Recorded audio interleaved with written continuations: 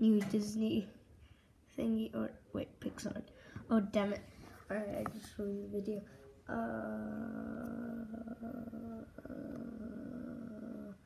uh, that looks like a goddamn face.